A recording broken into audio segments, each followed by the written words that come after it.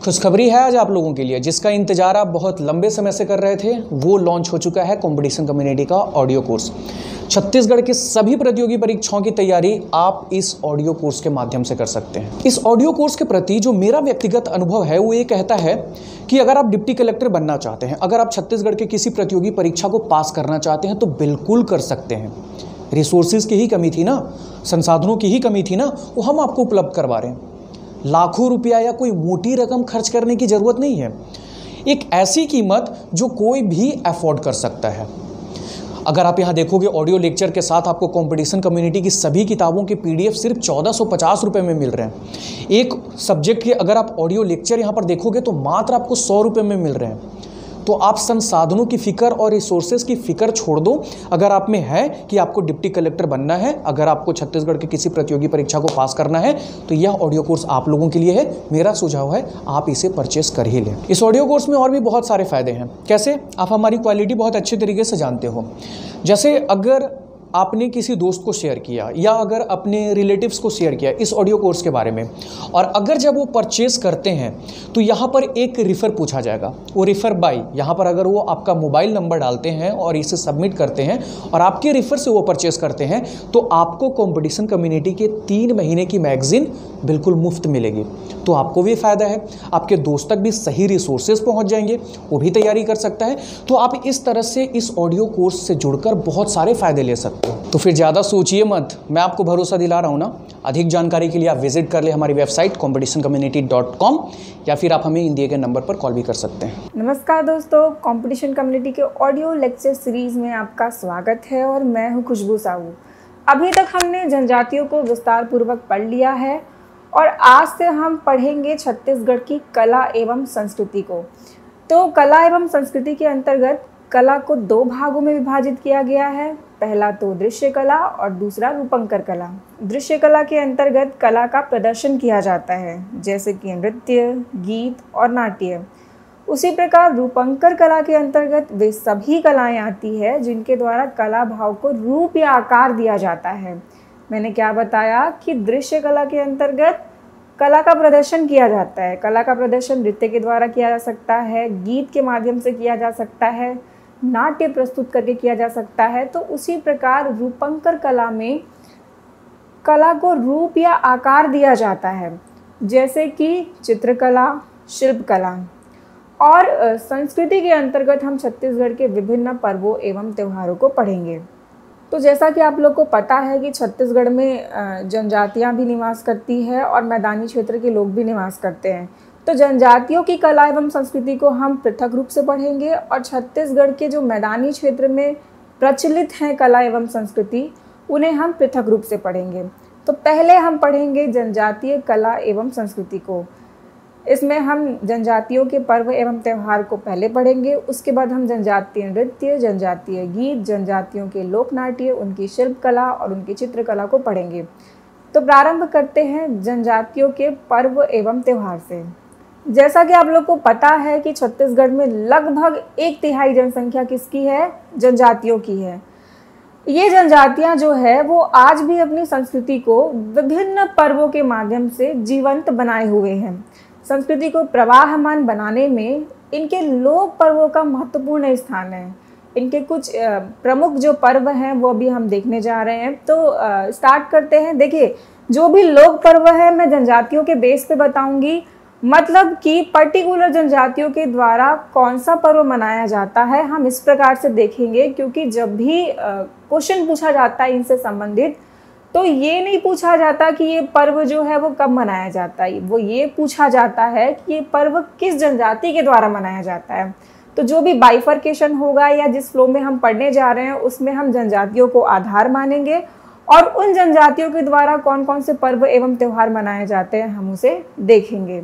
जनजातीय पर्व एवं त्यौहार को पढ़ने से पहले हम हिंदू कैलेंडर के बारे में जान लेते हैं, क्योंकि जनजातीय पर्व एवं त्यौहार जिस माह में मनाए जाते हैं, उन माहों के नाम को हम हिंदू कैलेंडर में उपयोग होने वाले माह के नाम से जानने वाले हैं। तो पहले हम हिंदू कैलेंडर के बारे में जान लेते हैं। हिंदू कैलेंडर में अंग्रेज़ी कैलेंडर की तरह बारह माह होते हैं और हर एक माह में पंद्रह पंद्रह दिन के दो पखवाड़े होते हैं। इस प्रकार से एक माह में कितना दिन होता है? तीस दिन होता है।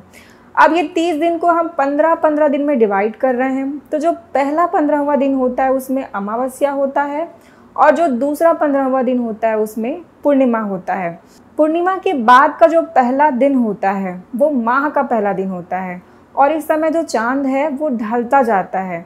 इस पंद्रह दिन के ड्यूरेशन को क्या कहा जाता है? कृष्ण पक्ष कहा जाता है। फिर क्या आता है? पंद्रहवें दिन में अमावस्या और अमावस्या के बाद का जो पहला दिन होता है, वहाँ से लेके हम फिर पंद्रह दिन तक कैलकुलेट करते हैं। इस ड्यूरेशन को कहा जाता है शुक्ल पक्ष और इस समय चाँद जो है वो प्रकाशमय होने लगता है। तो इस प्रकार से आपने क्या समझा कि एक माह में तीस दिन होते हैं, पंद्रह और पंद्रह दिन के दो पखवाड़े होते हैं।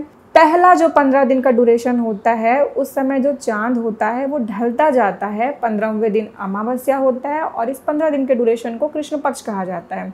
अमावस्या के जस्ट बाद के पहले दिन से हम दूसरे पंद्रह दिन को काउंट करेंगे। तो इस ड्यूरेशन को शुक्ल पक्ष कहते हैं और इस समय चाँद जो है वो प्रकाशमय होते जाता है और पंद्रहवा दिन क्या होता है? पूर्णिमा होता है। हिंदू कैलेंडर का जो पहला मास होता है वो चैत्र होता है और अंतिम मास होता है फाल्गुन। इस वैदिक मासों के नाम को राशियों के आधार पर रखा गया है। सभी माह का अपना अलग अलग धार्मिक महत्व होता है और अपने अपने त्योहार एवं पर्व होते हैं। तो पहले हम इन माहों के नाम जान लेते हैं कि कौन कौन से बारह माह होते हैं, किस सिक्वेंस में हैं, और उसके बाद हम फिर जनजातियों के पर्व एवं त्यौहार को पढ़ना प्रारंभ करेंगे। तो सबसे पहला माह क्या होता है? चैत्र। चैत्र माह, देखिए हम यहाँ पर कंपेयर करने वाले हैं ना कि हिंदी कैलेंडर के हिसाब से ये जो माहों के नाम हैं, वो इंग्लिश कैलेंडर के हिसाब से किस ड्यूरेशन को संबोधित करने वाले हैं, ठीक है? तो चैत्र जो है वो 21 मार्च से लेकर 20 अप्रैल तक का समय होता है। बैसाख जो है वो 21 अप्रैल से लेकर 20 मई तक का समय होता है। ज्येष्ठ माह जो है वो 21 मई से लेकर 20 जून का समय होता है। आषाढ़ 21 जून से लेकर 20 जुलाई, सावन 21 जुलाई से लेकर 20 अगस्त, भादो 21 अगस्त से लेकर 20 सितंबर, अश्विन 21 सितंबर से लेकर 20 अक्टूबर, कार्तिक 21 अक्टूबर से लेकर 20 नवंबर अगहन 21 नवंबर से लेकर 20 दिसंबर, पौष 21 दिसंबर से लेकर 20 जनवरी, माघ 21 जनवरी से लेकर 20 फरवरी और फागुन 21 फरवरी से लेकर 20 मार्च और फिर उसके बाद फिर से चैत्र माह जो है वो प्रारंभ हो जाता है 21 मार्च से लेकर 20 अप्रैल तक। तो इस प्रकार से 12 माहों के नाम क्या क्या हो गए? चैत्र, बैसाख, ज्येष्ठ, आषाढ़, सावन, भादो भादो को भाद्रपद भी कहा जाता है। अश्विन, कार्तिक, अगहन, पौष, माघ, फागुन। तो ये बारह माहों के नाम हैं और अब जब भी हम कुछ भी बताने जा रहे हैं माहों के नाम के बारे में या माहों के बारे में तो हम इसी हिंदू कैलेंडर में यूज़ होने वाले जो भी माह हैं, उनके नाम से हम क्या करेंगे, जानेंगे इन्हें। तो आते हैं जनजाति पर्व एवं त्यौहार में। ये छत्तीसगढ़ सारगर्भित भाग एक के पेज नंबर 325 में दिया गया है। पहले हम उन पर्वों के बारे में बात करेंगे। जो कि लगभग सभी जनजातियों के द्वारा मनाया जाता है और फिर हम उन पर्वों के बारे में बात करेंगे जो किसी पर्टिकुलर जनजाति के द्वारा मनाया जाता है। तो प्रारंभ करते हैं नवाखानी से। नवाखानी नाम से ही समझ में आ रहा है नवा अर्थात नया और खानी अर्थात खाना। खाना या फिर कह सकते हैं हम अन्न। तो नए अन्न की बात की जा रही है इसमें। लगभग सभी जनजातियों के द्वारा भादो माह में अमावस्या के बाद शुक्ल पक्ष से लेकर पूर्णिमा तक, लगभग पंद्रह दिनों तक, जब खेत में नई फ़सल आई रहती है, उसे ग्रहण करने से पहले इस पर्व को मनाया जाता है।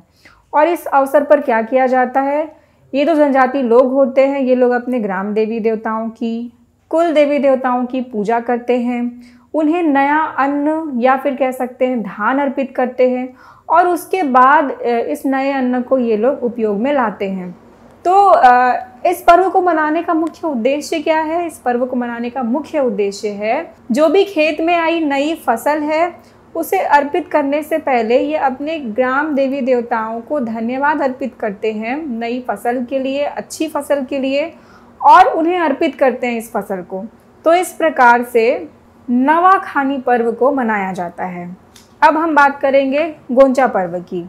तो गोंचा पर्व जो है, वो बस्तर क्षेत्र में निवास करने वाली लगभग सभी जनजातियों के द्वारा मनाया जाता है। इस पर्व को आषाढ़ शुक्ल द्वितीया से लेकर 11 तक, लगभग 10 दिनों तक मनाया जाता है।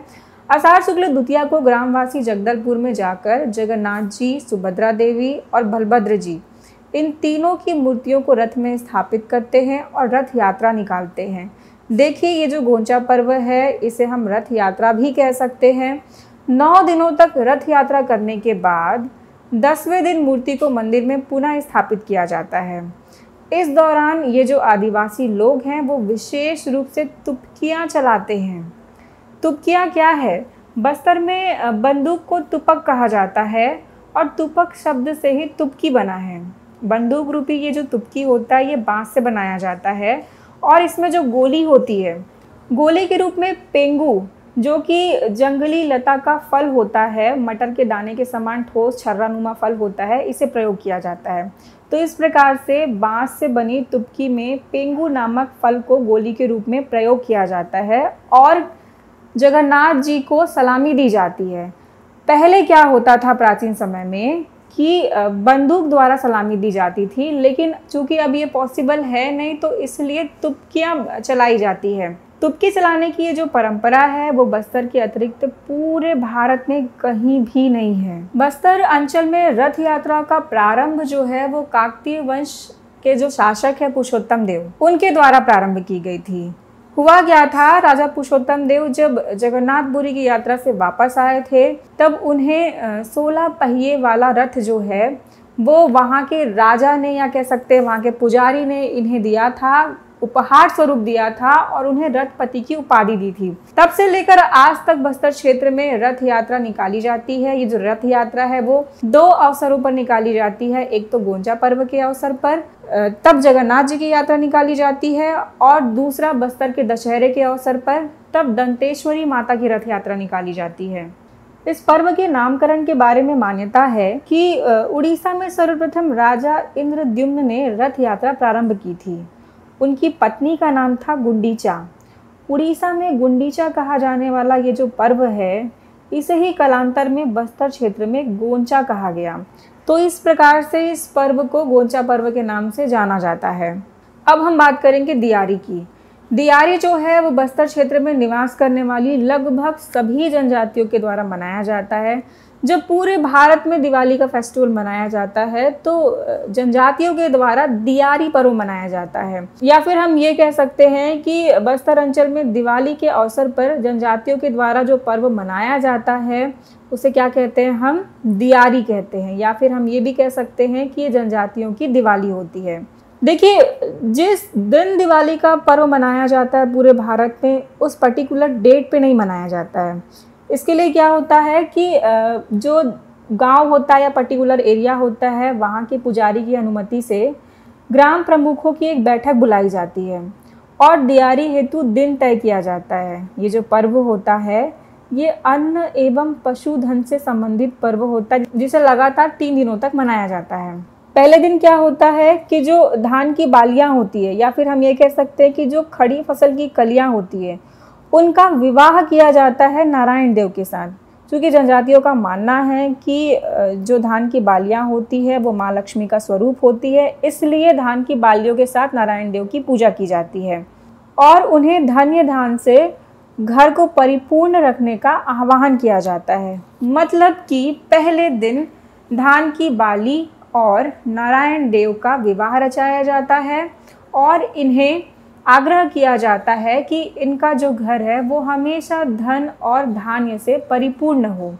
शाम को चरवाहा के घर जाकर उसे सल्फी अर्पित किया जाता है और गौशाला में बैलों को सन की बनी रस्सी से बांधा जाता है। ये पहले दिन का रस्म हो गया। दूसरे दिन बैलों की पूजा कर उनको खिचड़ी खिलाया जाता है और तीसरे दिन गोठान की पूजा की जाती है। गोठान का मतलब जब चरवाहा जो है गाय और बैलों को चराने के लिए लेकर जाता है तो दोपहर के समय जिस क्षेत्र में ये लोग निवास करते हैं, उस क्षेत्र को क्या कहा जाता है? गोठान कहा जाता है। तो गोठान की पूजा की जाती है तीसरे दिन। अब हम बात करेंगे अमुस तिहार की। अमुस तिहार भी लगभग सभी जनजातियों के द्वारा मनाया जाता है। बस्तर अंचल में हरेली अमावस्या के अवसर पर या फिर हम ये कह सकते हैं कि सावन अमावस्या के अवसर पर इस पर्व को मनाया जाता है। इस अवसर पर पशु औषधियों की पूजा की जाती है, जिसमें विशेष रूप से रसना और शतावरी पौधों की पूजा की जाती है। तो हम ये कह सकते हैं कि ये जो अमुस तिहार का पर्व है, वो पशुओं के स्वास्थ्य से संबंधित है। उनके अच्छे स्वास्थ्य की कामना के लिए उन्हें औषधि खिलाया जाता है, इन औषधियों की पूजा की जाती है तो इस प्रकार से अमुस तिहार के पर्व को मनाया जाता है। बासी तिहार, लगभग सभी जनजातियों के द्वारा मनाया जाता है। यह जो पर्व होता है, वो वर्ष में आने वाले सभी त्योहारों का अंतिम पड़ाव होता है, जिसे अप्रैल माह में नृत्य गायन करके मनाया जाता है। अब हम गोंड जनजातियों के द्वारा जो मनाया जाने वाला पर्व है, उसके बारे में बात करेंगे। स्टार्ट करते हैं माटी तिहार से।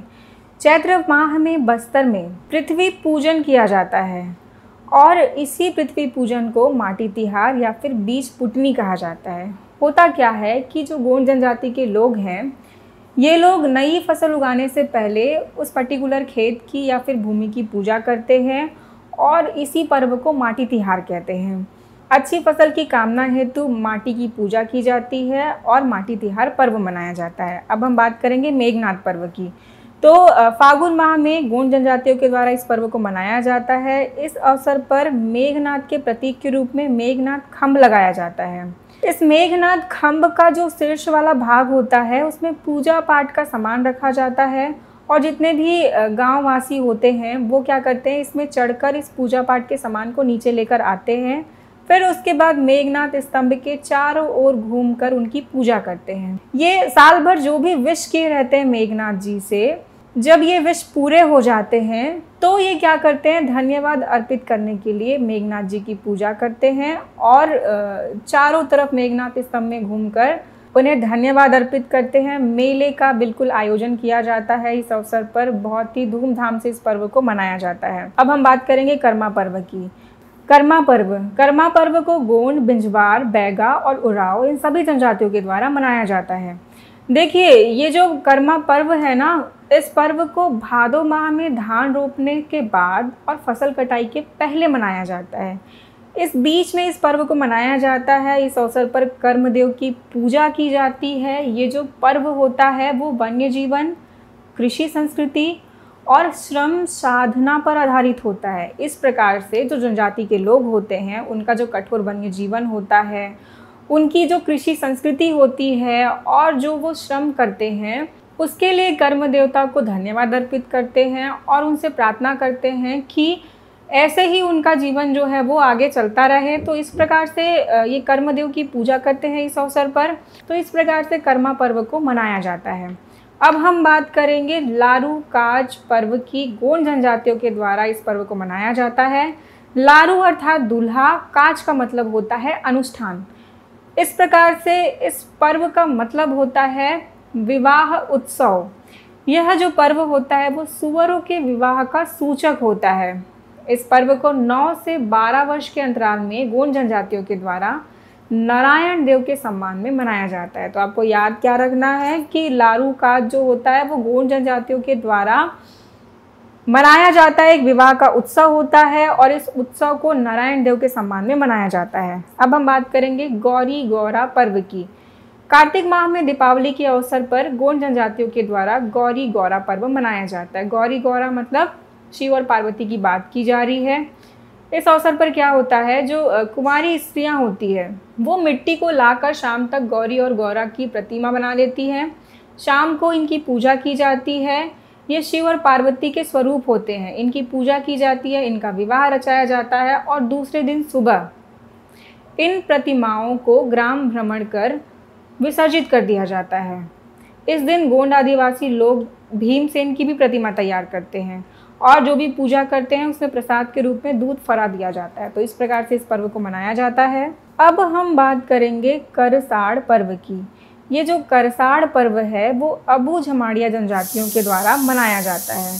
गोंडों की उपजाति है अबू झमाड़िया माटी तिहार के बाद ग्रीष्म ऋतु से वर्षा ऋतु के मध्य अबू झमाड़िया कुटुंब के द्वारा प्रतिवर्ष इस पर्व को मनाया जाता है, जिसमें दोरला एवं दंडामी माड़िया जनजाति के लोगों को भी सम्मिलित किया जाता है। इस पर्व में अच्छी फ़सल की कामना हेतु ये अपने गोत्रीय देव की पूजा करते हैं। और इस अवसर पर जो भी अविवाहित युवक और युवतियाँ होते हैं, वो वैवाहिक संबंध तय करने हेतु अपने लिए जीवन साथी भी चुनते हैं। और इस अवसर पर नृत्य का आयोजन भी किया जाता है। तो इस प्रकार से आपने क्या क्या जाना? कि करसाड़ पर्व जो है, वो एक्चुअल में एक प्रकार का सोशल गैदरिंग कह सकते हैं। अबूझ हमारे जनजाति के जो लोग हैं, वो आपस में मिलते हैं। अपने गोत्री देव की पूजा करते हैं अच्छे फ़सल की कामना के लिए। और जो भी युवक और युवतियाँ होती है, जो अविवाहित होते हैं, वो क्या करते हैं, अपने जीवन साथी का चुनाव करते हैं, नृत्य का आयोजन किया जाता है इस अवसर पर तो इस प्रकार से इस पर्व को मनाया जाता है। अब हम बात करेंगे परजा या फिर कह सकते हैं कि धुरवा। परजा या धुरवा जनजाति के द्वारा जो भी त्यौहार मनाया जाता है, उसके बारे में। आमा खाई। बस्तर अंचल में आम के पकने पर इस त्यौहार को मनाया जाता है। किसके द्वारा? परजा जनजाति के द्वारा। धुरवा पर्व। धुरवा पर्व धुरवा जनजाति के लोगों के द्वारा मनाया जाता है। चैत्र प्रतिपदा से पूर्णिमा तक मनाया जाता है। मतलब कि जो शुक्ल पक्ष का टाइमिंग है, पंद्रह दिन का जो ड्यूरेशन है, उस अवसर पर धुरवा जनजाति के द्वारा धुरवा पर्व मनाया जाता है। धनकुल या जगार पर्व। जगार का अर्थ होता है सांस्कृतिक जागरण। हल्बा जनजाति के लोगों के द्वारा मुख्य रूप से चार प्रकार के जगार पर्व का आयोजन किया जाता है। पहला तीजा जगार दूसरा आठे जगार, तीसरा लक्ष्मी जगार और चौथा बाली जगार। तीजा जगार का आयोजन जो है वो तीज के अवसर पर किया जाता है। आठे जगार का आयोजन कृष्ण जन्माष्टमी के अवसर पर किया जाता है। लक्ष्मी जगार का आयोजन लक्ष्मी पूजा के अवसर पर किया जाता है और बाली जगार का आयोजन धान की बाली आने पर किया जाता है। इस पर्व में धनकुल वाद्य यंत्र बजाया जाता है जो कि दो गुरुमाएँ बजाती है। इसलिए इस पर्व को धनकुल पर्व भी कहा जाता है। जो गुरु गुरुमाएँ होती है, वो धनकुल वाद्य यंत्र बजाते बजाते कथा सुनाती है, जो कि पौराणिक कथाएँ होती है। ये जो धनकुल वाद्य यंत्र है, ये मटका, सूपा और धनुष से बना होता है। तो इस प्रकार से धनकुल या फिर हम कह सकते हैं जगार पर्व को मनाया जाता है। बैगा जनजाति के द्वारा रतौना और रसनवा पर्व मनाया जाता है। जो रतौना पर्व है, वो नागा बैगा से संबंधित है। कोरबा जनजाति के द्वारा बीज बोहनी, कोरा और ढेरसा पर्व मनाया जाता है। खेतों में बीज बोने से पूर्व बीज बोहनी, भाद्रपद में कुटकी अर्थात गोंदली के फ़सल काटने के बाद कोरा पर्व और पौष माघ माह में सरसों की फ़सल काटने के बाद ढेर सा पर्व मनाया जाता है। क्या क्या मैंने बताया? देखो, ये जो तीनों पर्व है बीज बोहनी कोरा और ढेरसा तीनों की तीनों फ़सल से संबंधित है। खेतों में बीज बोने से पूर्व बीज बोहनी भादो माह में कुटकी, अर्थात गोंधली। गोंधली के फ़सल काटने के पश्चात कोरा पर्व और पौष माघ के माह में सरसों की फ़सल कटने के पश्चात ढेर सा पर्व मनाया जाता है। अब हम बात करेंगे भीमा जत्रा की। तो भीमा जतरा का जो पर्व है, वो दोरला जनजाति के लोगों के द्वारा ज्येष्ठ माह में मनाया जाता है। इस अवसर पर तीन साल में एक बार मतलब कि ये हर साल नहीं मनाया जाता है, तीन साल में एक बार मनाया जाता है इस पर्व को। और तीन साल में एक बार भीमा देव का विवाह धरती माता के साथ रचाया जाता है। बस्तर के अन्य क्षेत्रों में इस अवसर पर वर्षा ऋतु की कामना के लिए कपल पेंडुम त्यौहार मनाया जाता है। कपल पेंडुम जो त्यौहार है, उसे केवल स्त्रियाँ मनाती है। जिसमें ये मेंढकों का विवाह रचाती है और इसलिए इसे मेंढका विवाह भी कहते हैं। तो इस प्रकार से भीमा जत्रा पर्व मनाया जाता है। अब हम बात करेंगे बाली बरब की। बाली बरब का जो पर्व है वो हलबा और भद्रा, दोनों जनजातियों के द्वारा मनाया जाता है। किसी भी अवसर पर लगातार तीन माह तक इस पर्व को ये लोग मनाते हैं। ग्रामवासी जो होते हैं, इस पर्व को मनाने के लिए आपस में धन संग्रहित करते हैं और उसके बाद इस पर्व का आयोजन करते हैं। ये जो पर्व है वो भीमा देव को समर्पित है जिसे भीमा देव गुड़ी परिसर में मनाया जाता है। इस पर्व में सेमल का विशेष स्तंभ स्थापित कर उसके आसपास नृत्य गान किया जाता है और इस दौरान जो देवी देवता होते हैं वो आदिवासियों पर चढ़ते हैं। जिसमें जो देवता होते हैं वो नृत्य करते हैं और जो देवियाँ होती हैं वो कांटों में झूलती हैं। तो आ, क्या जाना आपने बाली बरब के बारे में कि आ, किसी भी अवसर पर इस पर्व को मनाया जाता है। लगातार तीन माह तक मनाया जाता है, चूँकि बहुत लंबा ड्यूरेशन होता है, इसलिए क्या करते हैं लोग जितने भी ग्रामवासी लोग होते हैं, वो लोग पहले से ही धन संग्रहित कर लेते हैं। और ये जो पर्व होता है, वो भीमा देव को समर्पित होता है। भीमा देव गुड़ी परिसर में इस पर्व को मनाया जाता है और इस अवसर पर सेमल का विशेष स्तंभ स्थापित करके उसके चारों ओर नृत्य गान किया जाता है। देवी देवता जो होते हैं, वो आदिवासियों पर चढ़ते हैं। और जो देवता होते हैं वो नृत्य करते हैं और जो देवियाँ होती है वो कांटों में झूलती है। तो इस प्रकार से इस पर्व को मनाया जाता है। अब हम बात करेंगे गोबर बोहरानी की। ये जो गोबर बोहरानी पर्व है वो सुकमा के छिंदगढ़ विकास खंड के कुछ ग्रामों में ही मनाया जाता है। मतलब कि पूरे बस्तर अंचल की भी बात नहीं हो रही है ना ही आ, किसी जनजाति के बारे में बात हो रही है। किसी क्षेत्र की बात कर रहा है कि छिंदगढ़ विकास खंड के कुछ ग्रामों में इस पर्व को मनाया जाता है। यह जो पर्व है वो प्रतिवर्ष चैत्र माह में दस दिनों तक मनाया जाता है। इस अवसर पर क्या होता है? जो ग्रामवासी होते हैं, वो ग्राम से लगे मैदान में ग्राम देवी की स्थापना करते हैं। सबसे पहले ये क्या करते हैं कि जो भी ग्राम होता है, उससे लगे हुए मैदान में अपने ग्राम देवी की स्थापना करते हैं। सुबह सुबह ये शस्त्र पूजा करते हैं वहाँ पर और उसके बाद फिर ये जंगल जाते हैं आखेट के लिए। वहाँ से ये वापस आते हैं शाम को लौट कर और फिर उस मैदान में जाकर ये लोग नृत्य और गान का आयोजन करते हैं। जब रात हो जाता है तो अंत में एक विशेष प्रकार का गड्ढा बना होता है उस मैदान में। उसमें ये गोबर डालते हैं। लगातार नौ दिनों तक ये प्रक्रिया चलती रहती है। मतलब कि जो ग्रामवासी होते हैं, पहले ग्रामदेव की पूजा करते हैं, फिर आखेट में जाते हैं, फिर शाम को लौटते हैं, फिर नृत्य गान का आयोजन करते हैं। यहाँ पर समारोह होता है, फिर आखिरी में उस गड्ढे में ये लोग गोबर डालते हैं। दसवें दिन, ग्रामवासी इसी गोबर को एक दूसरे के ऊपर छिड़कते हैं या फिर हम ये कह सकते हैं कि गोबर की होली खेलते हैं और थोड़ा सा गोबर अपने अपने खेतों में ले जाकर डाल देते हैं। तो इस प्रकार से अच्छी फ़सल की कामना के लिए इस पर्व को मनाया जाता है। जो खेत होते हैं, उसमें जो मिट्टियाँ होती है, उसमें अच्छी पैदावार हो फ़सल की, ये जो मिट्टी हो, ये उपजाऊ हो, इसके लिए गोबर बोहरानी का पर्व मनाया जाता है। तो इस प्रकार से जनजातियों के द्वारा मनाया जाने वाला जितना भी पर्व है, उसके बारे में हमने चर्चा कर ली है। किन किन पर्वों की बात की हमने? नवाखानी, आमाखाई माटी तिहार मेघनाथ पर्व, कर्मा पर्व, करसाड़ पर्व, गोंचा पर्व, धुरवा पर्व, लारूकाश, जगार पर्व, रतौना, रसनवा बीज बीजमोहनी, कोरा, ढेरसा, दियारी अमुस तिहार गौरी गौरा भीमा जत्रा बाली बरफ बासी तिहार और गोबर बोहरानी की। तो याद रखिएगा आप लोग कि ये जितने भी पर्व हैं, वो जनजातियों के द्वारा मनाए जाते हैं और इनके जो नाम हैं, पर्वों के नाम हैं, वो कहीं ना कहीं जैसे इस पर्व को मनाया जाता है, जिस उद्देश्य से इस पर्व को मनाया जाता है, उससे संबंधित ही इनके नाम हैं। दोस्तों, आज के लिए इतना ही। हमारा जो नेक्स्ट लेक्चर होगा, उसमें हम जनजातीय नृत्य के बारे में बात करेंगे। धन्यवाद।